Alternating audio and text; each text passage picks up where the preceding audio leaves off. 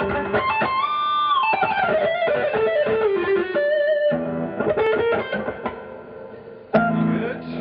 Sounds alright to you? Sounds great to me. Okay. You get enough reverb and all that? oh yeah. You actually make me sound like a guitar player. I make you sound like the kid in front of the amp at Steve's.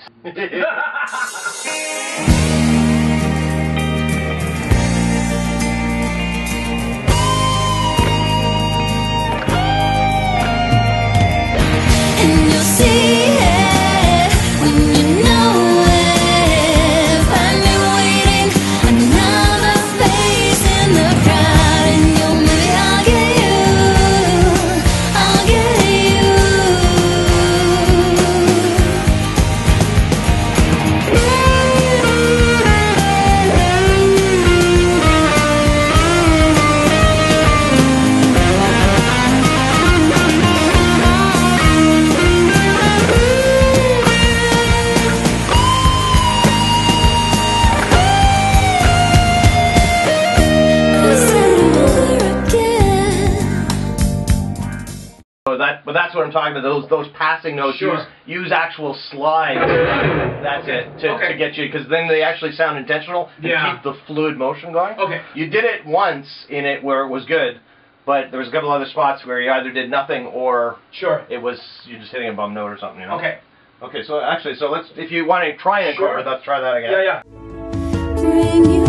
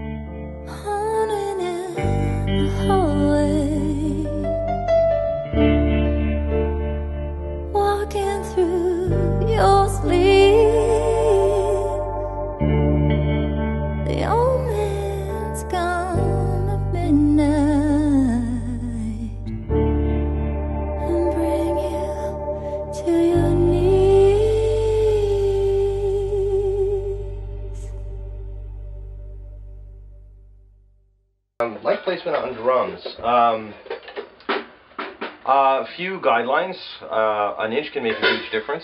Um, you kind of uh, get a feel for your own personal taste as far as placement goes.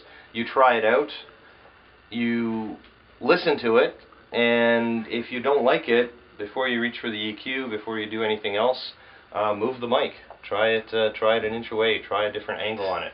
Um, when I go in, I typically will uh, start with maybe a 45 degree angle pointing inwards towards the uh, center of the uh, toms and the snares, um, and uh, and use that as a starting point. Um, for the most part, after a while, you get a feel for what works and what doesn't. And same with mic uh, selection as well. Um, you'll get some preferences. Uh, depending on what you're trying to accomplish, you'll choose different mics for their different characteristics and um, and again go from there. If you don't like the sound, swap out the mic. Um, once you're happy more or less with the mics, you can then fine tune pre's as well because the pre that you pair with the uh, with the microphone will uh, will also change the sound uh, far more subtly. Uh, what's more important is uh, that initial mic selection.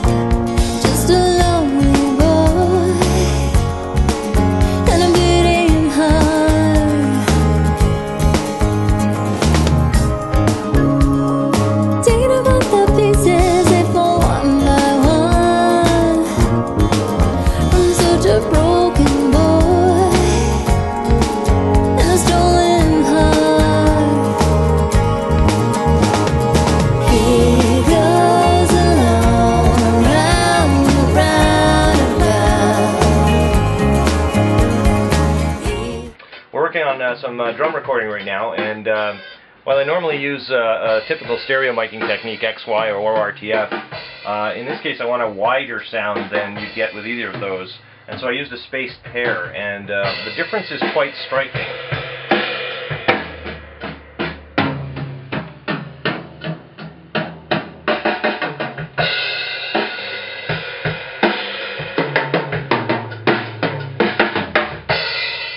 Much wider sound fields, um, things spread, pan across quite well, uh, and it's even collapsing in mono. And if it's not collapsing in mono properly, you do have to play with the placement a little bit. It builds up. For the other ones, I think we're okay because they're not as.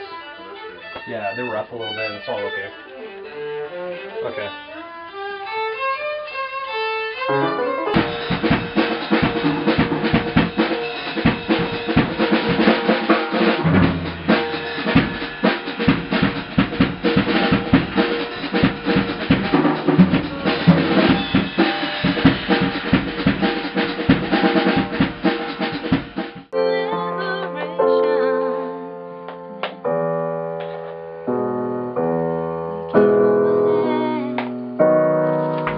That's what I noticed on those first two um, lines of the last take that you liked.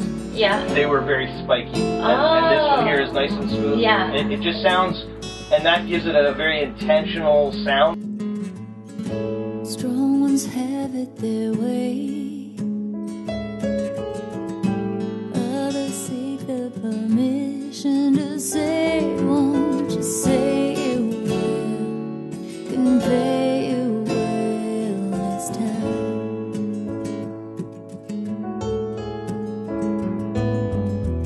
There are some matters to weigh.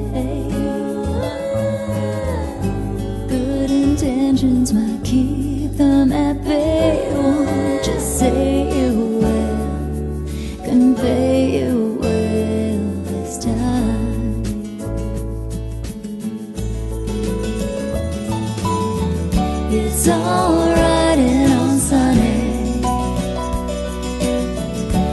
turned it over, I must confess that you get more sweetness with honey. And all the